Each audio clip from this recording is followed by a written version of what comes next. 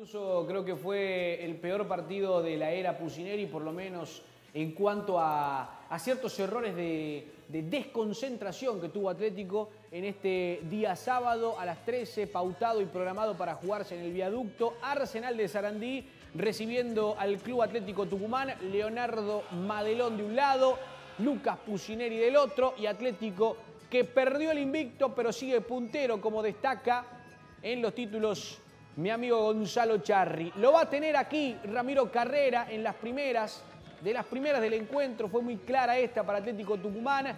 También tuvo la posibilidad Arsenal en un partido de ida y vuelta.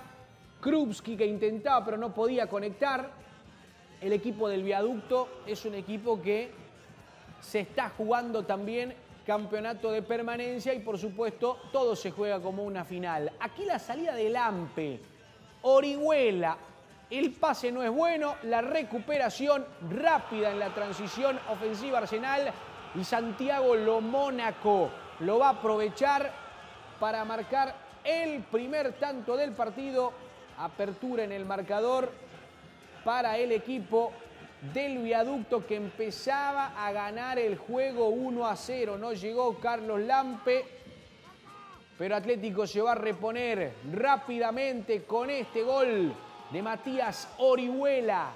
Dos cabezazos en el área, destacan que muchas veces es gol y en este caso fue así. El centro de zurda, la peinan al paso, Carrera que es el que envía el centro y Orihuela es el que define de cabeza para marcar el empate del partido. Uno a uno al entretiempo, pero Atlético, lo decíamos, en pequeños errores de desconcentración va a terminar pagando caro el partido, porque llegará este gol a través de la pelota parada, nadie que la saque y Goñi va a marcar el segundo tanto del partido. Gonzalo Goñi de cabeza, marcando para Arsenal. Lamentablemente para Atlético se fue expulsado Bruno Bianchi, que se equivoca en la primera acción, en la primera amarilla, una amonestación muy infantil. Ya condicionado el central, comete esta falta en el segundo tiempo y a las duchas.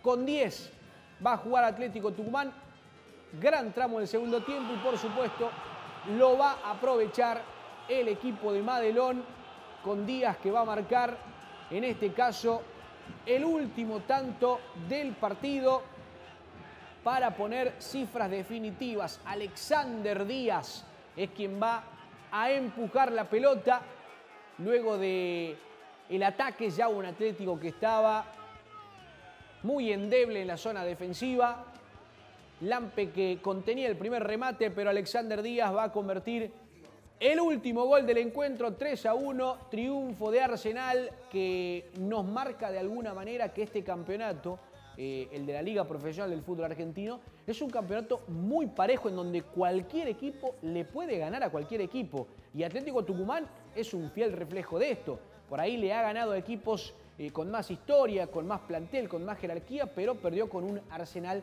de Sarandí que también se juega mucho. Hablaron los protagonistas, estuvimos en el viaducto y vamos a ver y escuchar justamente lo que decían luego de, este, de esta derrota, la primera del campeonato para el equipo de Lucas Pusineri. ¿Cómo venía jugando el equipo? Bueno, sí, realmente un poco impensado. En la previa nosotros sabíamos que, que era un rival duro, que, obviamente no había empatado mucho, eh, había perdido poco, había empatado mucho.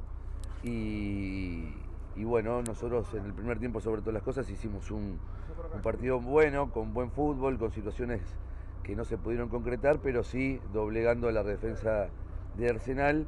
Y, ese es el trabajo que hoy rescato eh, de los jugadores. Después, bueno, eh, hubo bastantes accidentes que nos han pasado factura y que, bueno, nos encontramos que hoy no hemos podido sumar. Bueno, además manejar el partido, pero bueno, eh, ellos se encuentran con el gol, después nosotros en el empate y, el segundo tiempo después del gol creo que fue todo incertidumbre nuestra. Eh, y obviamente la expulsión quizás, la, primera amarilla quizás lo que, lo que más te, puede doler, ¿no? Sí, la verdad que me olvidé que me había sacado la amarilla en esa jugada, que fue creo que por un malentendido ahí, pero bueno, son cosas que pasan y hay que sobreponerse. Eh, levantarse, no están acostumbrados, es la primera derrota, ahora hay que pensar en lo que viene y, y bueno, levantarse después de esto. Sí, sabíamos que, que iba a llegar en algún momento, pero bueno, eh, estamos preparados para, para salir adelante y, y ganar el fin de semana. Un partido complicado, te tocó entrar, sin embargo, una derrota que duele. Sí, la verdad que sí, un partido duro, eh, pero bueno, hay que, hay que seguir, estamos bien igual, hay que seguir así. ¿Cómo se hace para levantarse? Porque vienen bien, pero sin embargo esta derrota hay que saber para poder enfrentar el próximo partido. No, no, la verdad que el equipo está unido, así que hay- vamos a seguir así para adelante. ¿Cómo te sentiste en el campo de juego?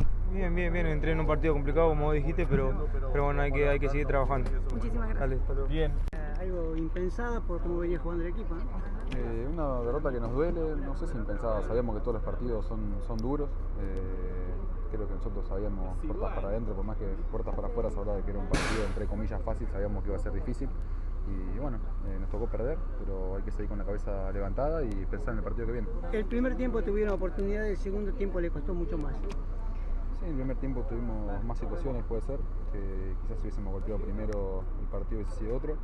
Pero bueno, nos tocó arrancar abajo, pudimos empatarlo y salimos al segundo tiempo con, con mucha ganas de revertir el resultado y poder ponernos arriba en el marcador, pero bueno, no, no se dio. Eh, tocó sufrir este partido, pero bueno, como te digo, pensando en el que viene. Un partido accidentado.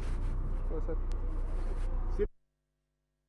Bien, la palabra de los protagonistas, ahí estamos con Atlético Tucumán, las notas, el post partido, luego de lo que ha sido esta derrota del equipo de Lucas Pucineri, la primera del campeonato. De igual manera, Atlético Tucumán continúa siendo el puntero, el líder de esta liga profesional del fútbol argentino y ya tiene que pensar en lo que se viene porque el próximo día jueves va a estar jugando, en este caso frente a Central Córdoba de Santiago del Estero por la noche en el Estadio Monumental, una buena posibilidad también para Atlético para revertir y cambiar esta historia de lo que ha sido justamente el partido del día sábado.